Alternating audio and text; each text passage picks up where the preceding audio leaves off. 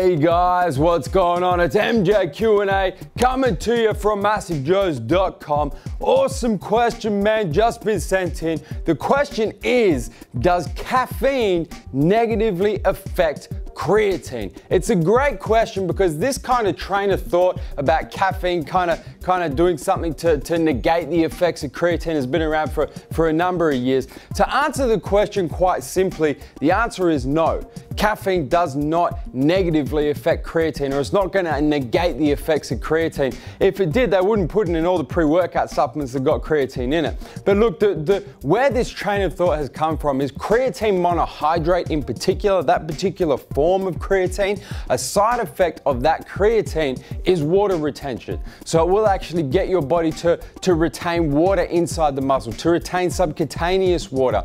On the other hand, caffeine is a diuretic, which actually gets your body to flush water out, to get rid of water in muscle, to get rid of water between the muscle and the skin, the subcutaneous water. So the train of thought came about, whereas people were thinking, look, uh, uh, one of the one of the benefits of creatine is this water retention. Was it when it wasn't actually a benefit, it was actually a side effect. But th- with the train of thought of that being a benefit, and then you have caffeine that's flushing water out of your system. Obviously, those two things things do not marry with each other. They don't work uh, at the same time. You can't have water retention and then a diuretic effect at the same time.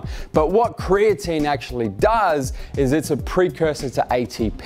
It allows your body to produce more ATP, store that ATP in the muscle cell so that when you go and train and you're doing resistance training where you use your phosphate energy system, your body has more ATP to use for energy. The water retention side of things is just a side effect of creatine monohydrate. And guys, that is why taking caffeine does not negate the effects of creatine. If you've got a question that you want us to answer in the very next edition of MJ Q&A, man, you got to hashtag MJQA, ask your question, post it as a comment to this video, and you may get your question answered in the very next edition of MJ Q&A. Guys, hit the subscribe button, subscribe to our YouTube channel, man. Stay up to date with all the latest editions of MJ Q&A and all the other deliciousness in our YouTube channel. Guys, that is MJ Q&A, and I'm coming to you from MassiveJoes.com.